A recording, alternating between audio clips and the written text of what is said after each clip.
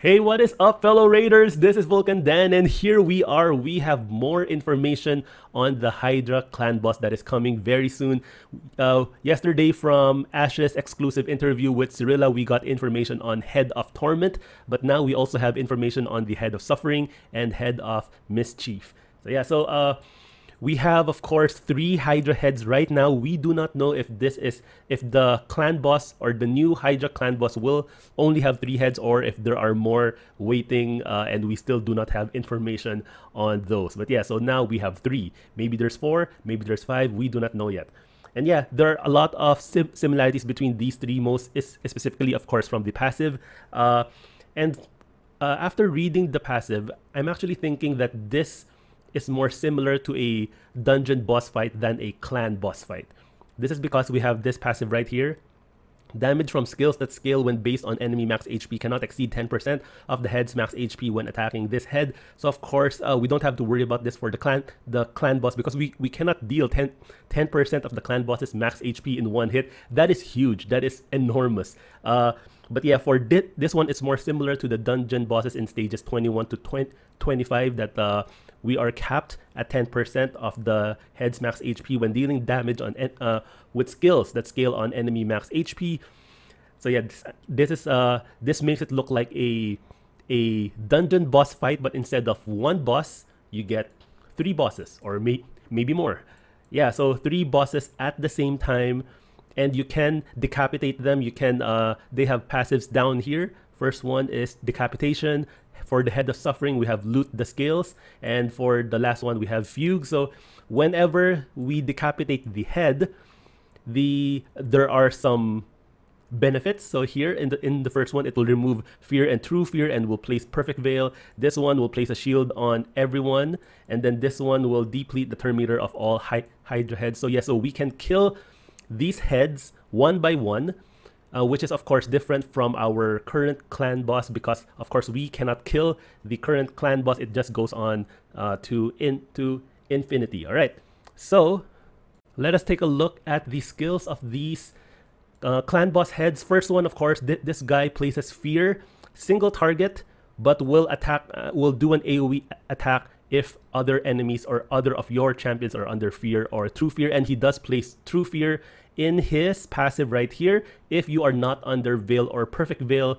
Uh, so yeah so you you probably want to have to, to bring someone that brings an AoE perfect veil on your entire team. And we do not have a lot of those champions in the game. So this would make it quite difficult yeah, so, and I'm thinking right now, I think Plarium does not want us to have this team that, that can block all of the debuffs like what, what we are doing with the current clan boss, which, which is why they're making this debuff uh, cannot be blocked or resisted.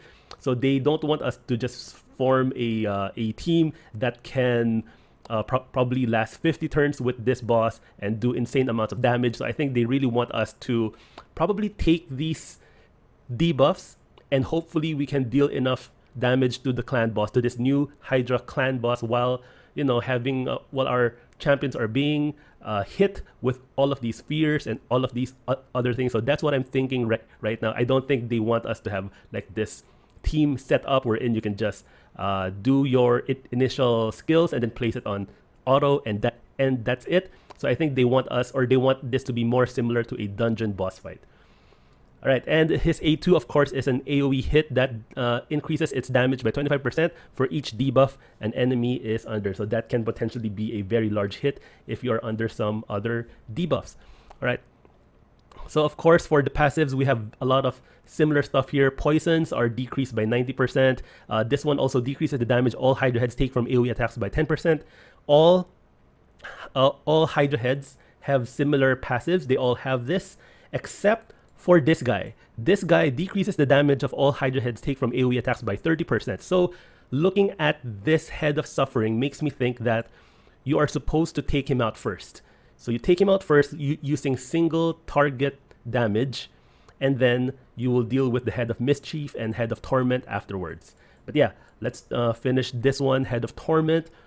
Uh, so this part right here is the same for all of the other heads and this one right here as well. Of course, immune to all of the CCs. And we have this new petrification, which we still do not know what petrification is. Uh, so we are going to expect some of the new champions that will come out with a uh, new petrification skill. All right, so let's take a look at Head of Suffering. Unlike Head of Torment, this guy, this guy's A1 is an AoE hit that places Weaken. But if your champions are under strengthened, he will not place that Weaken. And he has an A2 that is uh, that places ally protect and then reflect damage on himself and then places a provoke on one turn on the enemy with the highest critical damage. So yeah, so this really makes me think that uh, you're supposed to really beat this guy first, which is why he's pro provoking your highest damage dealer. But uh, that reflect damage is probably going to kill that champion that's going to attack him. And, and of course, ally protection, we know how ally protect works. So if you try to uh, to hit the head of mischief or head of torment while ally, ally protection is up you're probably not going to deal a lot of damage so you're going to really want to focus on head of suffering without killing yourself because of course we have this reflect damage here plus uh, he's the only head right now with an a3 a3 attacks one enemy places a pain link debuff for three turns then gets an extra turn. Pain link. Now this is of course new and I've been thinking what this could be, and I'm thinking that this could simply be a reflect damage debuff. So if that's true, you have a reflect damage on the boss and you have a pain link which is a reflect damage on yourself. So whenever you deal damage you will take similar damage yourself so that will be very painful which is why of course it's called pain pain link so yes i'm thinking that is what this is i may be wrong uh, but for now that's what that's what my guess is also, for its passive, it increases the resistance of all Hydra heads by 50. And of course, this is the same, this is the same, this is the same as well.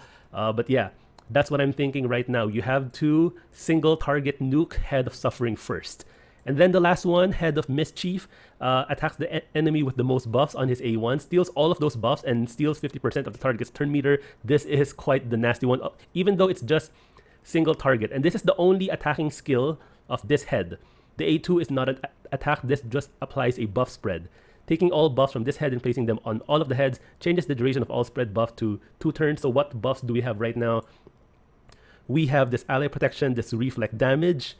Uh, but yes, it, it will not be from uh, from this guy because of course the reflect damage is only on the head of suffering. But what other buffs do we have?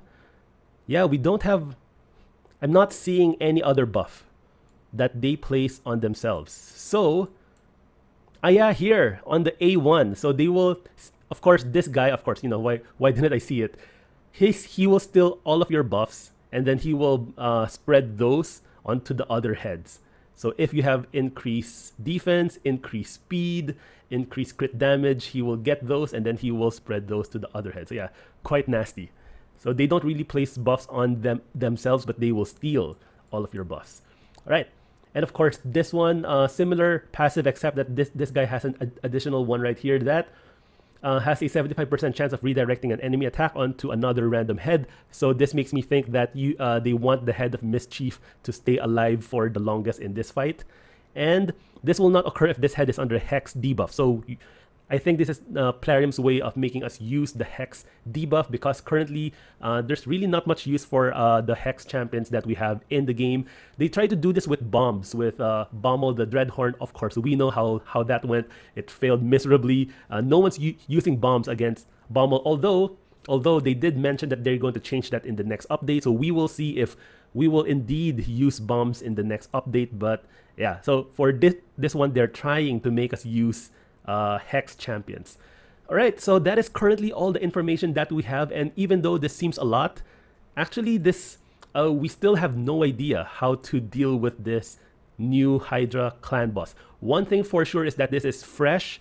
It's entirely new. We've never had a boss fight before we're in. We had to deal with three bosses. Of course, we have the the spider boss, you know, with all of the spiderlings, but this is different.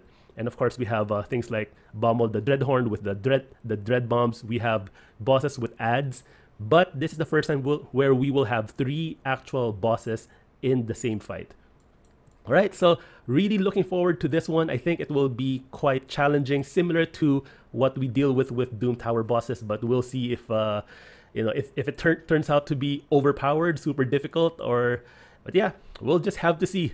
All right, so I'll put this image file in a pinned comment down, down below if in case you want to download this for your own reference. Thank you guys for watching. I hope you found this useful and I'll see you guys in my next video.